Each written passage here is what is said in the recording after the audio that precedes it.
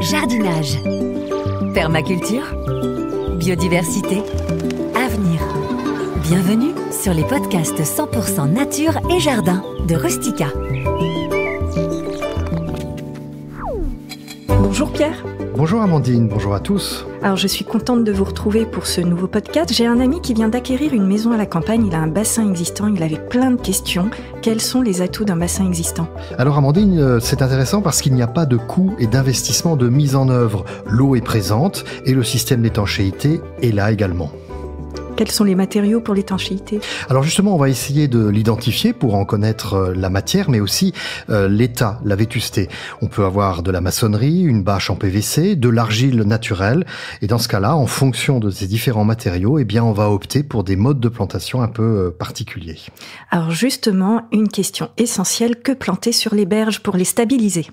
Alors les berges, justement, elles ont souvent tendance, avec la présence de l'eau, de se dégrader. On va les stabiliser de deux manières. Lorsque les berges sont verticales, on va utiliser ce qu'on appelle des tressages, des clayonnages ou des fascines qui sont constitués de saulosiers vivants. C'est le Salix vinimalis, Salix purpurea, Trianda ou Cinerea. Ce sont finalement des branches que l'on va planter dans le sol, que l'on va tresser entre elles et qui vont développer un système racinaire qui va naturellement maintenir les berges.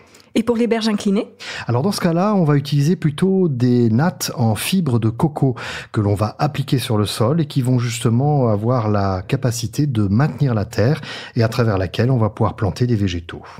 Et quelles plantes aquatiques peut-on utiliser pour stabiliser les berges? Alors on va choisir des plantes aquatiques dont le système racinaire est dense et compact. C'est le cas des accords, de la lèche, du souchet, de la glycérie. On peut aussi utiliser euh, l'iris des marais, le jonc des jardiniers ou éventuellement les massettes. Ce sont des plantes qui vont développer un système racinaire très dense, un maillage de racines qui va naturellement tenir la terre au bord du bassin.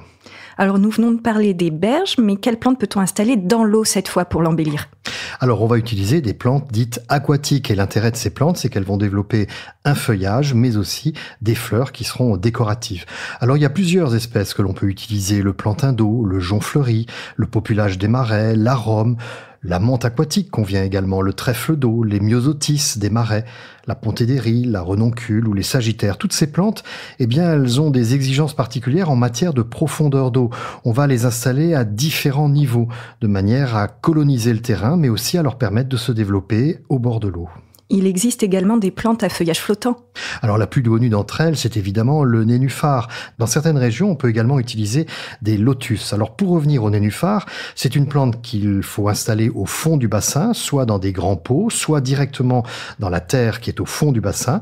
Les racines vont s'y développer, des tiges vont émerger de la souche et vont développer un feuillage qui va flotter à la surface de l'eau et qui pendant l'été va développer une multitude de fleurs. Quelles plantes à feuillage immergé peut-on utiliser et quels sont leurs avantages? Alors le gros avantage des plantes à feuillage immergé, c'est qu'elles vont oxygéner l'eau. Elles se développent feuillage et racines complètement sous l'eau. On va trouver euh, des élodées, de la cératophile, les myriophiles, l'aloès d'eau. Ce sont des plantes qui vont se développer sous l'eau et qui vont produire de l'oxygène qui va contribuer à maintenir une eau claire et limpide. En termes de quantité et de surface, y a-t-il des critères à respecter? Oui, sur un bassin, il faut en général consacrer un tiers de la surface de l'eau aux plantes et les deux autres tiers les laisser libres. Pourquoi? Parce que la lumière naturelle doit pouvoir accéder au fond du bassin pour limiter le développement des algues, pour permettre aussi à toute la vie dans le bassin, les poissons, de se développer sans être trop à l'ombre. En matière d'entretien, quels sont les points de vigilance? Alors, tous les deux mois, on va éliminer les algues qui se développeraient dans un bassin. On peut avoir des algues filamenteuses, on peut avoir des lentilles d'eau qui vont se développer à la surface du bassin.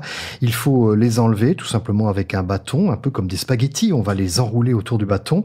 Concernant euh, les lentilles d'eau qui se développent à la surface, il faut les ramasser avec une épuisette. Et puis, on va surveiller les hérons, les hérons qui sont particulièrement friands des poissons qui se développent dans le bassin. Y a-t-il également un entretien annuel? Oui, alors tous les ans, en fin d'hiver, eh bien, on va couper les chaumes sèches et mortes des plantes de berge. Vous savez, toutes ces tiges, ces feuilles qui sont sèches, on va les couper au ras de l'eau de telle sorte qu'elles repoussent l'année suivante. En ce qui concerne les nénuphars, ils vont se mettre au repos.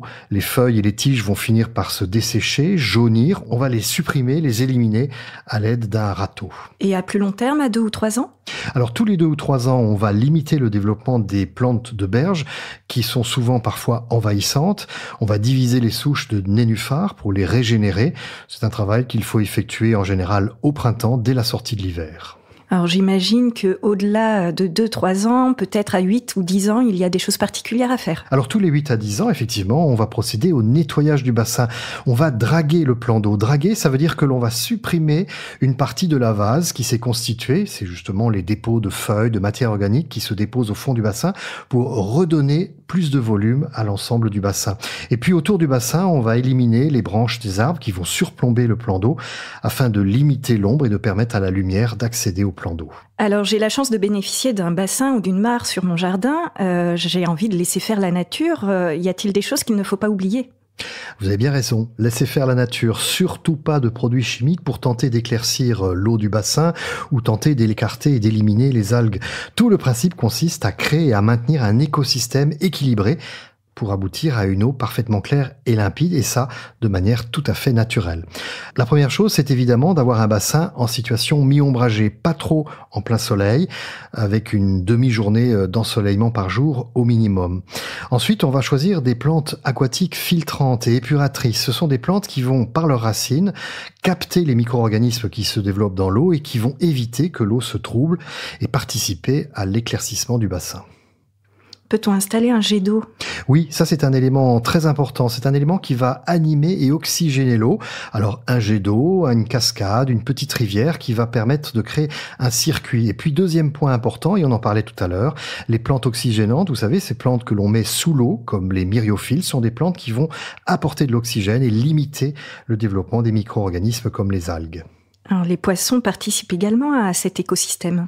Oui, c'est très important. Quand vous avez un bassin, soit un bassin euh, existant, installez quelques poissons, des poissons rouges tout simplement, qui vont se nourrir des différentes particules organiques qui sont en suspension dans l'eau, comme les micro-algues, mais aussi euh, de larves, de larves de moustiques et qui vont contribuer à nettoyer le bassin. Eh bien, merci Pierre pour tous ces conseils. Je crois que j'ai toutes les réponses à mes questions. À bientôt, Amandine. À bientôt. Merci d'avoir suivi notre podcast et retrouvez tous nos conseils en kiosque dans le magazine Rustica ou sur rustica.fr